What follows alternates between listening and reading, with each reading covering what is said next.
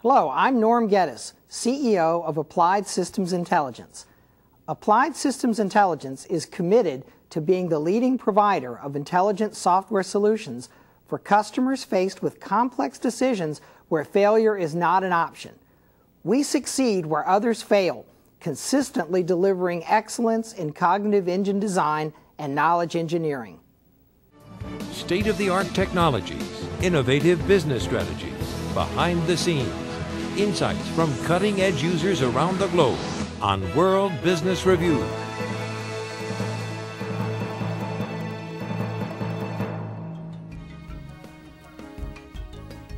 Welcome to World Business Review. I'm Norman Schwarzkopf. Artificial intelligence is experiencing a rebirth as an approach to solving very complex problems.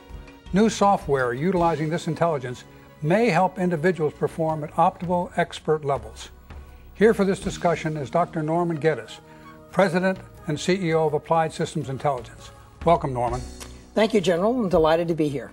Also joining us is our industry expert, Dr. Mike Pregman, Executive Vice President of the Quality Assurance Institute. Welcome to you, Mike. General, it's been a pleasure to join you. Mike, why has artificial intelligence made a comeback? Well, artificial intelligence has been around uh, for quite some time and it's used for solving complex problems, but it's particularly useful for quick decision making, real time uh, uh, decisions, uh, assessments, and analyses, which are particularly useful in certain applications. Norman, what factors led to this comeback? Well, I think there's really two sides to the reinterest in artificial intelligence.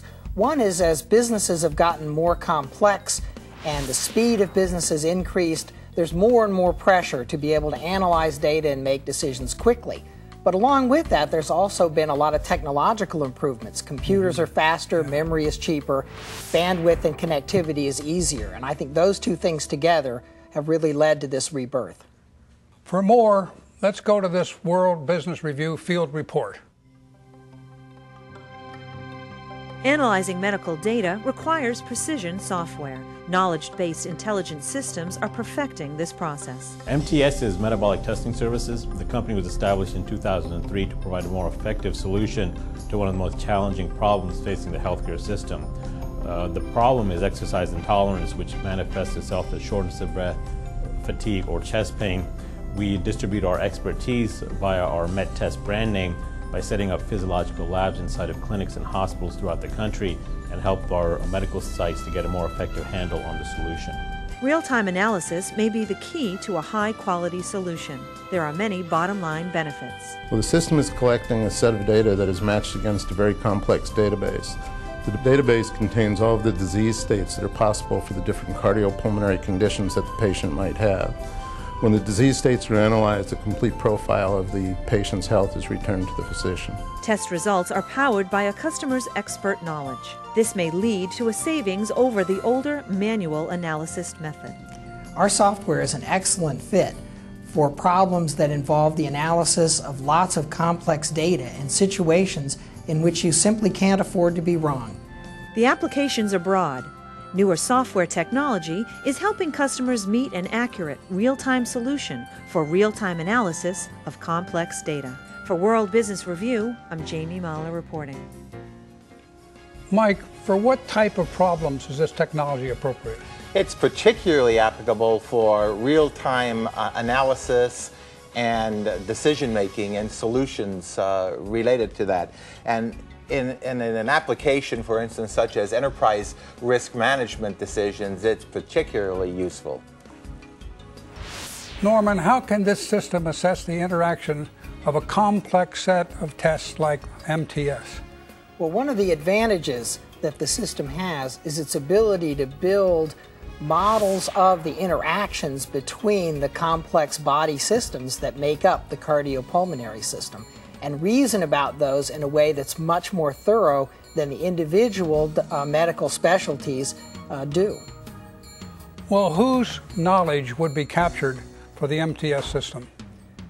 Well, we work uh, directly with a client like Metabolic Testing Services and their medical team to extract the knowledge from the medical expertise, but we also rely on recent research models, journal articles, and textbooks to, to compile the complete knowledge that goes behind the system. Well, how does this knowledge get captured and put into the MTS system? Well, that's an area of ASI's particular uh, expertise because we're one of the leaders in, no- in the knowledge engineering process itself. So we, over the years, we've learned how to put together a process for finding knowledge, organizing it, uh, designing the knowledge bases, building them, and testing them so that the resulting product is easy to build and reliable. Great. How comprehensive is your system? Well, our PreAct software system that the MTS uh, process is based upon is the most mm-hmm. comprehensive cognitive engine in the world today. It includes full services for analysis and assessment, planning, acting, and coordinating with other human beings and copies of itself. So you can build large distributed intelligent systems with this software as its core. Norman, how can the system be modified uh, if new medical breakthroughs or information is introduced that may impact the MTS system? Right. Well, one of the real benefits of using the cognitive engine approach to solving problems like this is that the software and the underlying knowledge are distinct from each other. So, as new medical knowledge is uncovered, you don't actually have to go back and change the software at all. All you have to do is update the knowledge, which is designed and structured to make that easy to do. So, it's much like uh, adding new data to a database. You don't have to change the database engine to do that, you just have to add the data. Norman, thanks very much for being here, for letting us in on a very, very interesting area. Thank you, General. My pleasure. And Mike, great having you here. It's been indeed a pleasure to join with you today. And thank you for watching. Until next time, for World Business Review, I'm Norman Schwarzkopf.